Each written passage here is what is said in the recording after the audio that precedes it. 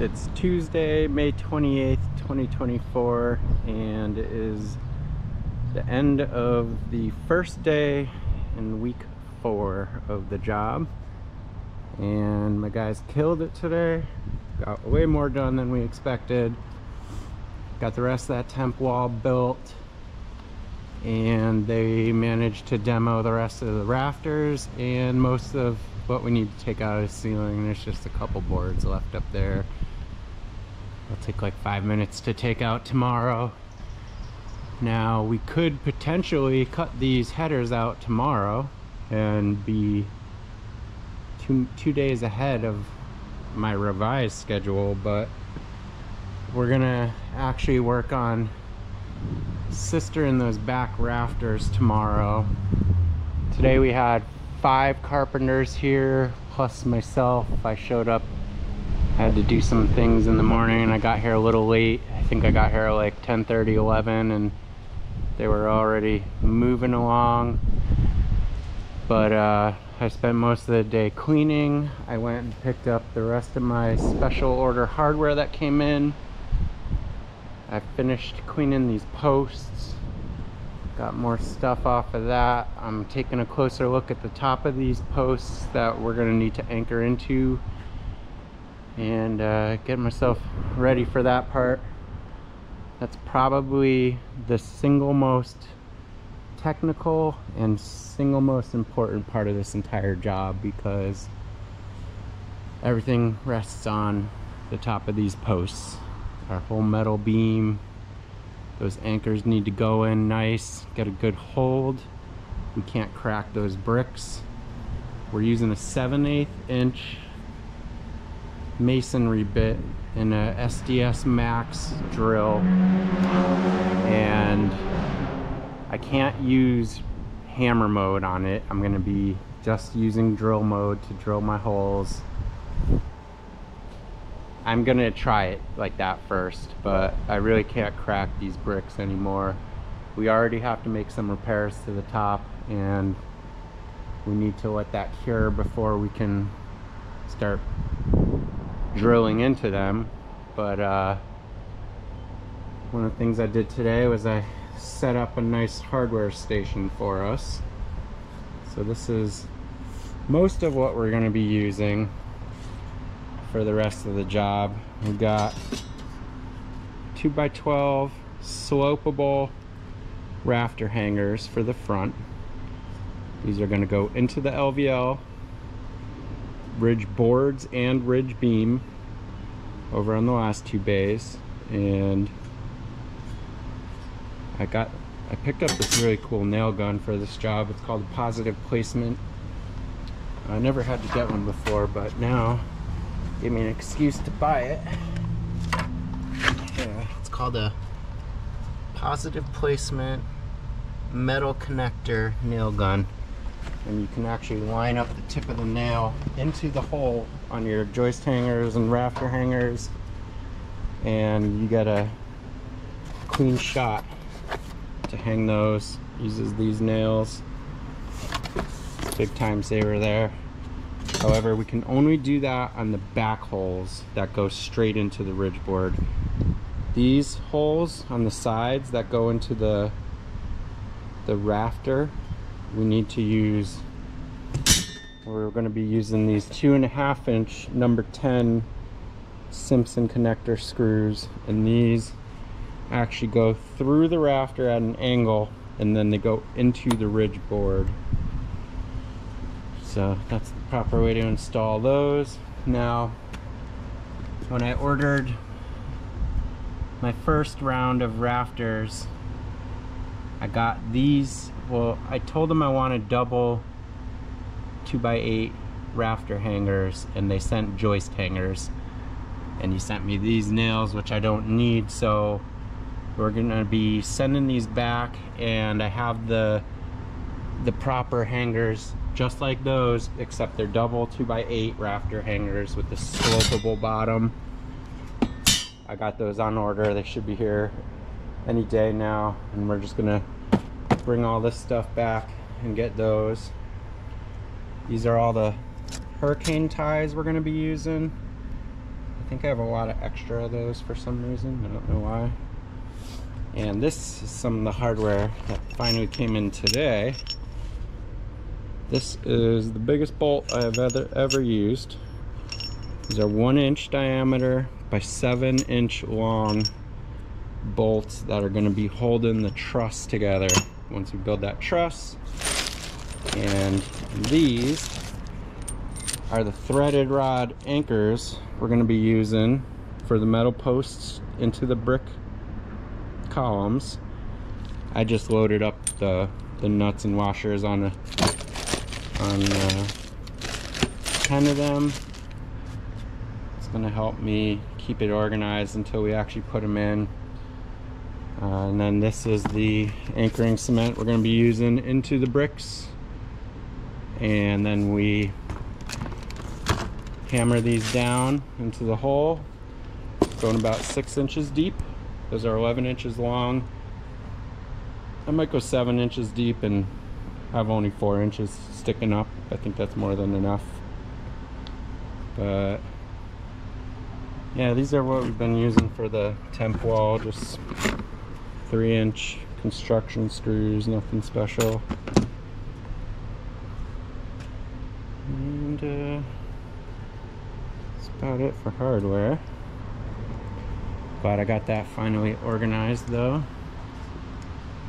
All I gotta get now are my carriage bolts for the beam packing. So I gotta count up how many of those I need and order those. Picked up my laminated Gantt chart and plan Friday the end of the day. I was talking about how I had it made in my last video and it was still at Staples at the time. That's why I didn't have it on me. But this is the revised timeline with a single phase.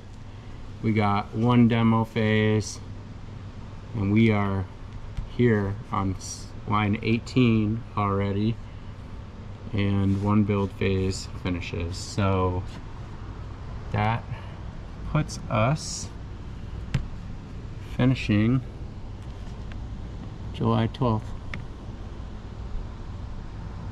But doesn't matter if we actually stick to that schedule because we will be finishing way ahead of plan. But uh, that's that's it for today. It's almost 6 o'clock. I'm ready to go home. Tomorrow, I'm going to keep on cleaning, power washing some stuff, maybe helping the guys if they need any help with the sistering of the rafters. But, uh, that's it. We did a good job today. I'm happy with that. Let's see how full this dumpster is now that we got all those rafters in it. So there's still plenty of room in here. It's just gonna blow away. Let's say it's like two thirds full. And I mean, we're gonna be using, filling the dumpster the rest of this job, but it's just not gonna be filling fast, so. So we got our another lumber order in today.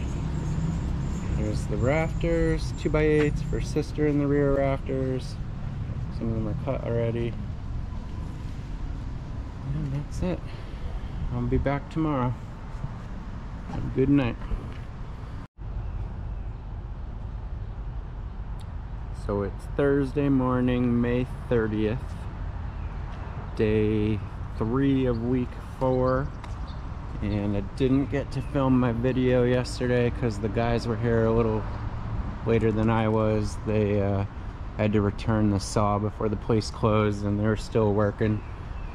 So I tried to do my videos after everybody's gone. But uh, anyway, we're today I'm gonna be cleaning up all this concrete dust that's on these posts. Got those last three headers off yesterday. The guys finished. Almost finished. Sistering up all these rear rafters. We had three carpenters here yesterday. And they were working on that while I was cutting these headers out. So managed to finish that. And I gotta get five more 20 I think I'm using 20 foot 2 by 8s maybe 22 so we're well ahead of schedule now so that's great. Today I'm gonna get all this dust cleaned off. I got one of my helpers who's done a lot of masonry work. He's coming to start patching in the bricks that fell out off the top of these we're gonna get that all prepped and ready so that over the next few days I can start laying out my anchor holes. I believe my metal fabricator is almost done with making the posts that go on top. So we're in a good spot right now and after today I'm gonna come in tomorrow and start pulling some string lines measuring from the ridge. What I really need to do is measure that horizontal run from the ridge to the top of the posts. Get a nice straight line all the way across the front that's parallel to the ridge. And I think what I'm gonna do is a separate video kind of detailing exactly how I'm gonna do that. Now it'd be great if it's perfectly parallel and all the rafters are the same but I think that would be hoping too much. Probably gonna have to make some modifications as we go to these rafters but it's not that big a deal. We'll just add a little extra time to the job so. Anyway we're about to get started and I'll probably film another video after this yesterday I did do a time lapse of the entire day so I think what I'm gonna do is clip that onto the end of my weekly video. And just uh, it's like 15 minutes long but I will just throw that on the end there for your entertainment. And that's it. I'm gonna do separate video detailing all the the layout for these anchor holes. We gotta also pop off these caps today I'm gonna move all these headers to their new home in the back where nobody can be bothered by them. Hopefully they can stay there. Pop those caps off, clean these up, fix the bricks, and that's it. So I'll be back later.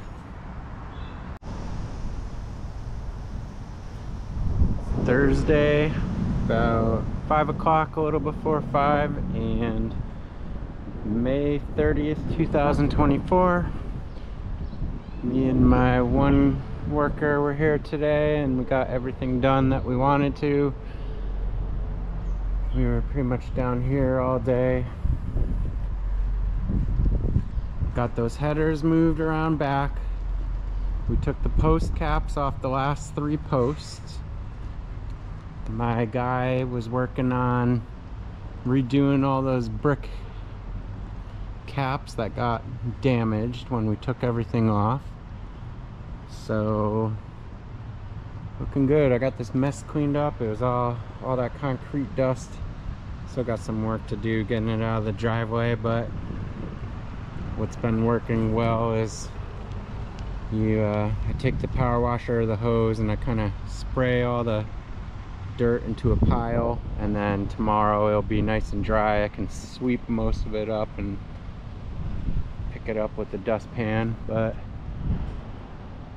yeah, we are ready to start laying out my anchor holes tomorrow. That's a big day for me.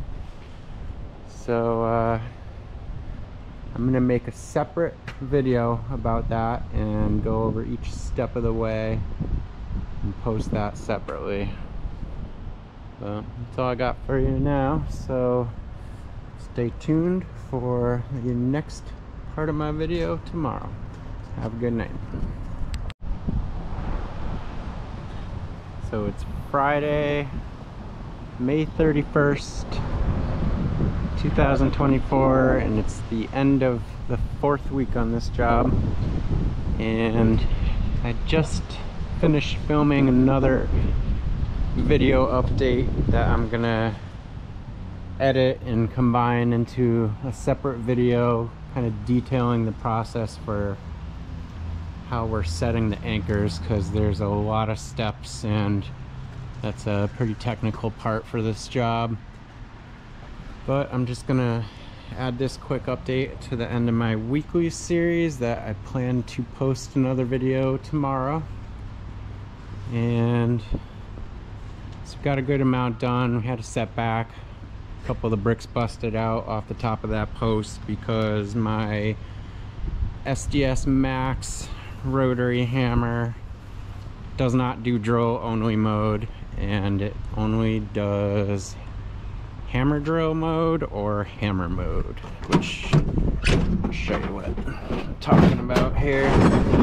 In case you don't know I keep referring to my rotary hammers SDS Max SDS Plus this is a SDS Max rotary hammer these are uh, pretty powerful little drills this is the bit we were using today and it's got a special chuck that only fits in these big SDS Max uh, tools. So usually, like I have my, my SDS Plus Bosch rotary hammer over there. It's like the Bosch Bulldog, I think. And you can do drill only. So over here, you set the tool. Does either hammer and drill or just hammer but no drill so this little rotating thing that's like when you have a chisel bit and you need to spin the bit for a different rotation. So I guess I should have known that about my tool that it doesn't do drill only but anyway. This guy's going home today because he's no longer needed here. So are those tools going home as well so my metal guy came and he started laying out his holes he needs to drill. He'll be back tomorrow to drill them and hopefully he gets these primed. These things have been stacked on their side over here so I haven't been able to really show the true scale of them. But these are the beams that are going to be holding up this roof. They're big.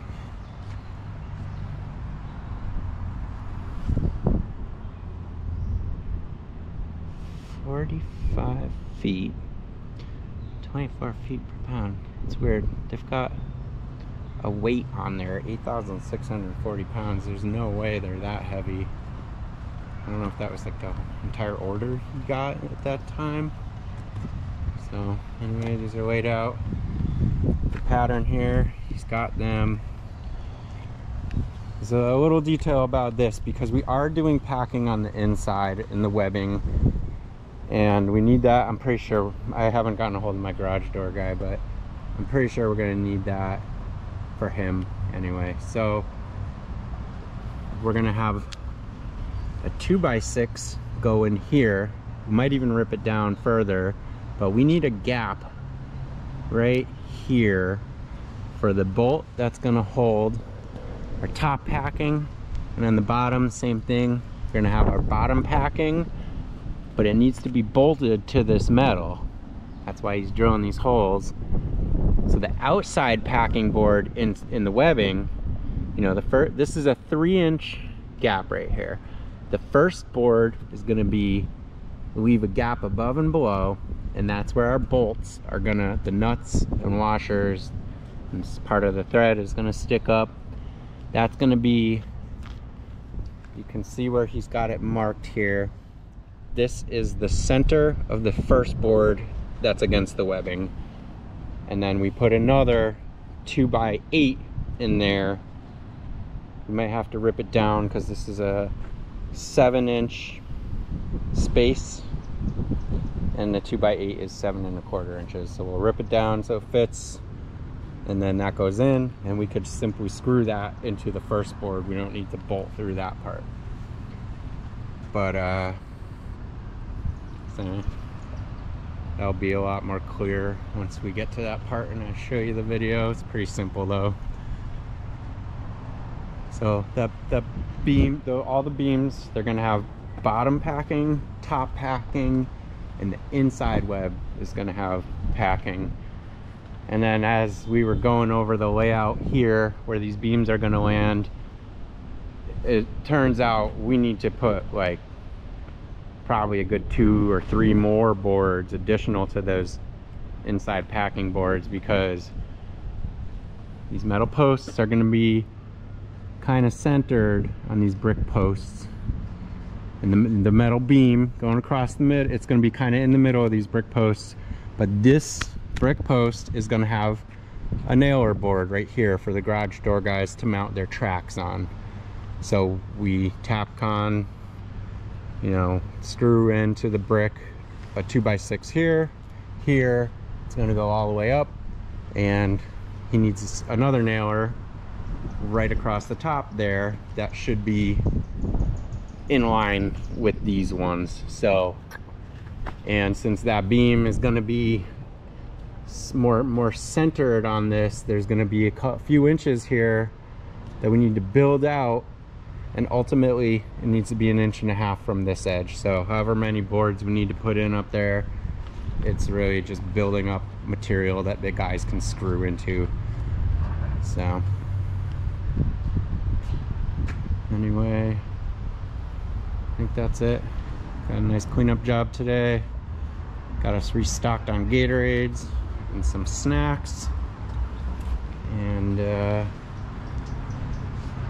I'll probably be back Monday, but I'm not positive about that. I might have some other things I gotta do and uh, it looks like we got a few more days of waiting for this metal to get done anyway. So this job has really been tough on my schedule and I've got a lot of other things I need to be doing and I'm falling behind on my paperwork, but I really wanted to be here overseeing and making sure a lot of these parts go smoothly especially this this part. I'm gonna feel a lot better once this beam is in and we get that rafter pattern started because from there it's really everything's pretty simple to put back together. I mean we put we do our rafters roof sheathing the roofer's gonna come in finish the roof. Then as far as framing goes, we put ridge ties up top. We're probably gonna reuse those two by fours as our ridge ties. And then a lot of these two by sixes are gonna be used for our nailers. I was just talking about for the garage door. And then a lot of the other, what we have left of the two by sixes, I believe we are gonna be stacking to make a catwalk in this attic space when we're done but I don't know if that's all that necessary. There's not going to be much going on up there anyway. But uh, it is a lot of lumber to just you know we got garages and stuff we could put in but it's gonna make a huge pile somewhere so rather just reuse it for something. But uh yeah after so beam goes in rafters ridge ties rafter ties. Then we do an inspection. That's the rough inspection for framing. Then we do I think electrical gets roughed in and then he has an inspection and then we do insulation and then insulation gets an inspection and then we drywall. So those are all pretty simple things. We do them all the time. Nothing really special about it. But this stuff here, this is not your typical job that we're, you know, that we used, we're used to working on at least. So, anyway, it'll be nice to catch up on some other things. I got a lot of work to do right now. So, anyway, thanks for watching and have a good weekend and be back soon. Hopefully this beam goes in soon